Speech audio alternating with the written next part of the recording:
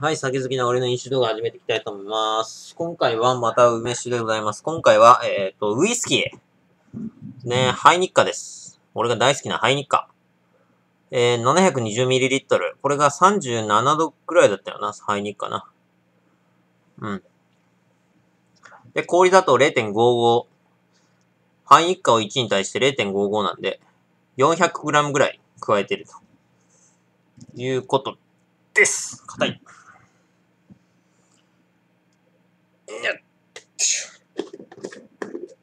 ウイスキーですね。これも結構楽しみにしてました。で、梅の実がですね、全部上に来てますね。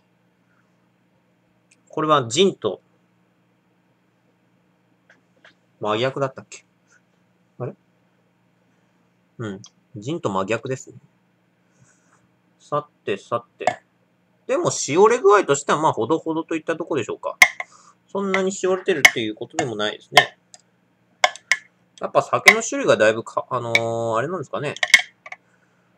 この浸透圧の、あれに影響してくるんでしょうか。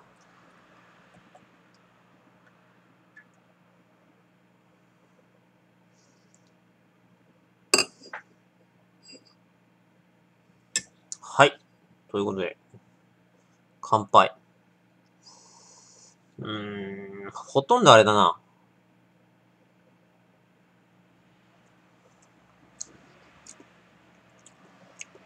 ああ、でもこれはちょっと違うな。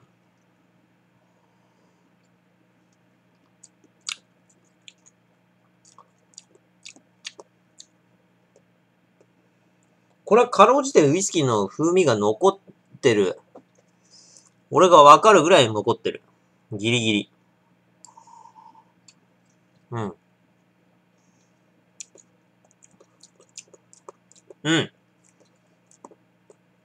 ほんのちょっとちょびっとこう、ウイスキーの香りがするんですが、一般的にもう甘い。この動画で散々言ってるから甘い。とにかく甘い。うん。のと、結局梅の味でほぼかき消されてる。ね。梅の味によって、ウイスキーの味が、ほぼしないですね。うん。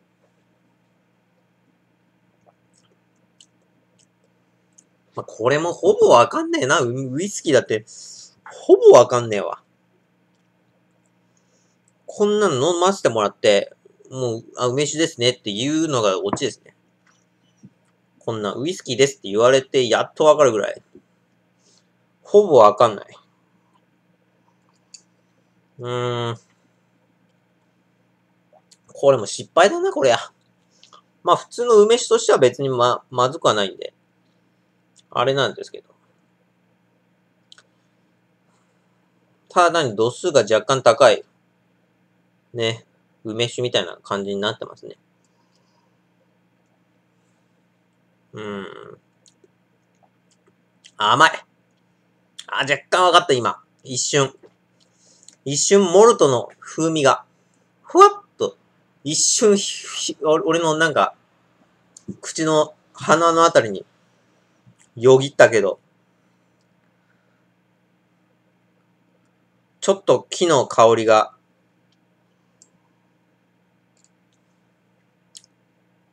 したけども、とにかく甘いな。甘さと梅の酸味で、もうウイスキーなんてもう、みじんぐらいしか感じんわ、こんな。ダメこれ。まあでも一番まだマシな部類だな。あ、でも、ジンもまだマシだったかな？言われてみるとな。うん。一番ダメなのは多分、ラム酒だね。今のところ、これ 4, 4個飲んできたけど。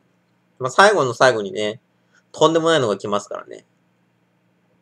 一番最後に俺の超自信作。自信作というかね。あの、ものすごいのが最後に来ますけどね。それを最後の楽しみにとっとき。ここまでの評価としては、一番、あのー、なんか、違うなって、他普通の梅酒と、あ、違うなって感じがしたのは、ブランデーかなブランデーちょっと、あの、まろやかなんですよね。ブランデーまろやかでちょっと甘ったるいのが特徴ですね。なんかちょっと、乗った、乗ったりしてた。なんか、液体自体もなんか、ちょっと、なんかとろっとしてた。うん。味も全体的にコクがあった。で、あとはまあ、ジンと、ジンかな？その次ジンかな？ジンは割と香りが若干、あの、強かったかなっていう感じはありますね。うん。うん。でもウイスキーなんてほぼ変わんねえな、これな。うん。なんかこれで一年待ち望んできた甲斐があったかっていうと、今まででもないですね。うん。この4つ飲んできたけど、ないです。うん。ない。うん。もうない。もう1年無駄にしたっていうのが、あの、でかいです。まあ、ね。まあ完全にもう甘すぎても飲めないっていう状況にもなってますんで。まあ今後作るときは、もう砂糖は加え、加えない方がいいです、俺は。俺の中だと。とにかく。まあ砂糖は後でも加糖できますからね。逆に考えるとね。確かに。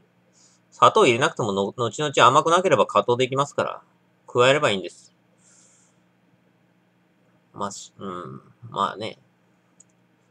まあ、極論としてはね、加えられるんで。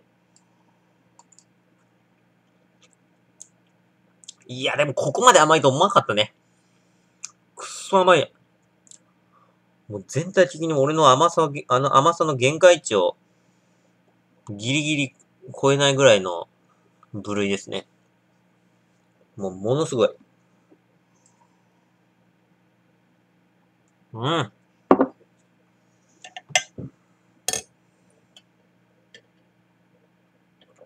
でもこれ1回0.56だよ。55だよ。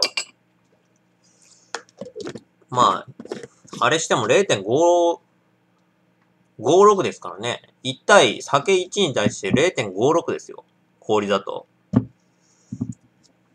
ここまで甘くなる俺、推測じゃなかったんだけどなどこで計算狂ったんだろう。はい、ということで、ここから、えー、殿下の宝刀、長屋の梅酒さんです。うん。ね。こちらですね、本来常温で保存してもいいのか、これ。え？ん？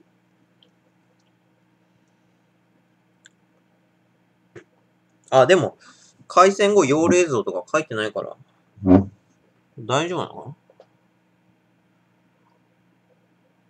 な？あ、大丈夫くさいですね。はい。ということで、国産梅100%使用のですね、長屋の梅酒を最後に飲みます。飲みまして、どう違うか。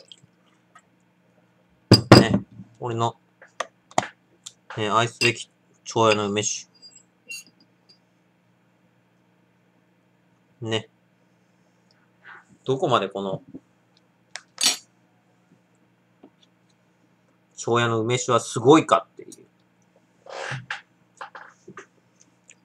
乾杯。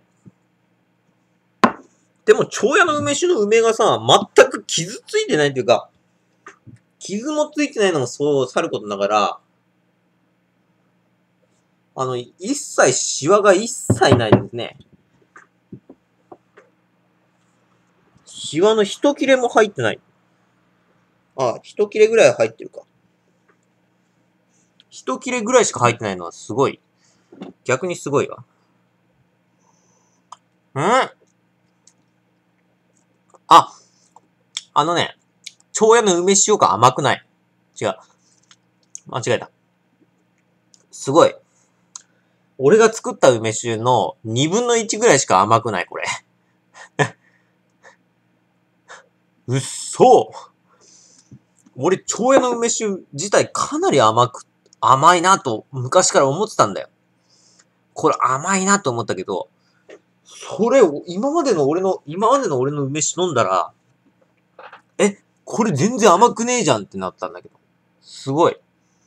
俺の梅が、梅酒がどんだけ甘いかわかるわ。あ、全然甘くない。俺の梅の、梅酒の半分ぐらいしか甘くないわ。うん。これはあれだわ。びっくり。いや、それだ、甘いわけだ。でも結局この、蝶屋の梅酒の分量とかはわかんないんですよね。砂糖どんだけ入れてるかとか。まあ当然企業秘密だろうけどね。まあでもアルコール度数これ、蝶屋の梅酒これ14%なんで、まあ、俺のやつの2倍ぐらいは違いますね。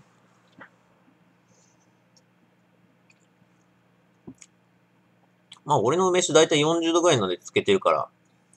まあ、それで、まあ、ちょっと薄まった、氷砂糖で薄まった分と考えても、まあ、倍ぐらい違うか。うーん。あ、ここまで蝶屋の梅酒が甘くないと感じたのは俺、初めてかもしんない。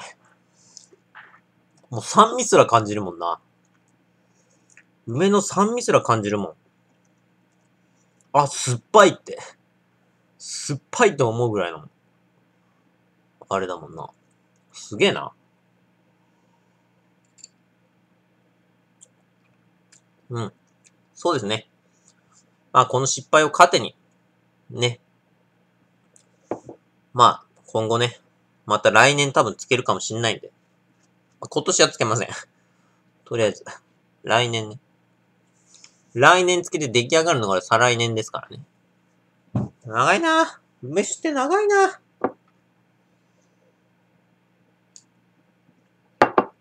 まあ皆さんも梅酒をつけるときには、ご注意ください。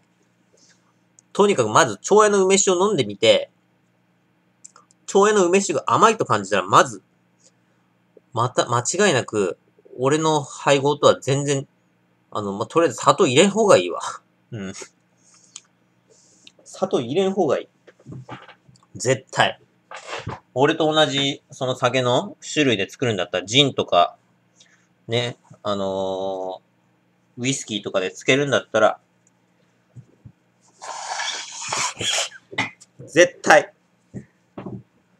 だって、酒1に対して0.56の氷砂糖の量でも、こんだけ甘いんだから。町営の梅酒の2倍ぐらい甘いんだから。ね。皆さん気をつけてください。本当に。これは本当に1年間パーにする危険性ありますから。もう逆にね、甘くなかったら、あの、1年経って甘くなかったって言ったらもう、ね。それを飲んだ後に、また、あの、氷だと加えりゃいいんだから。うん。後でね、修正が効くんですよ。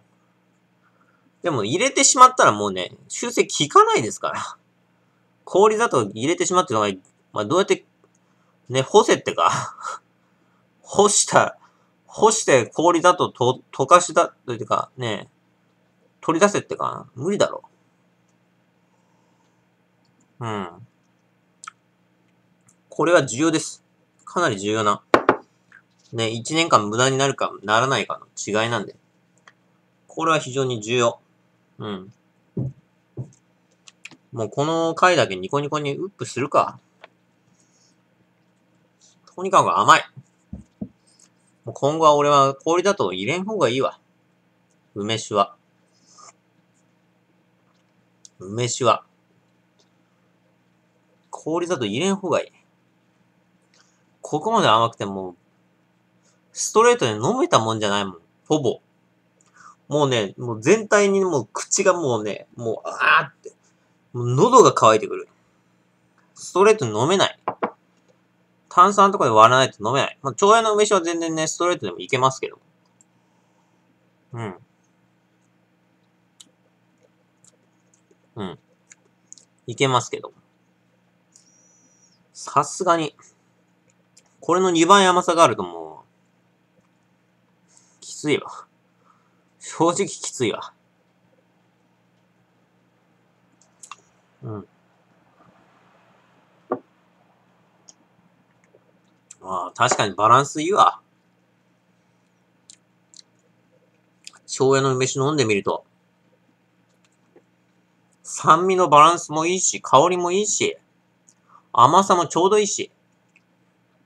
まあ、ちょっと甘いかなっていうぐらいだけどね。まだこれでもね。うん。まあ、ね。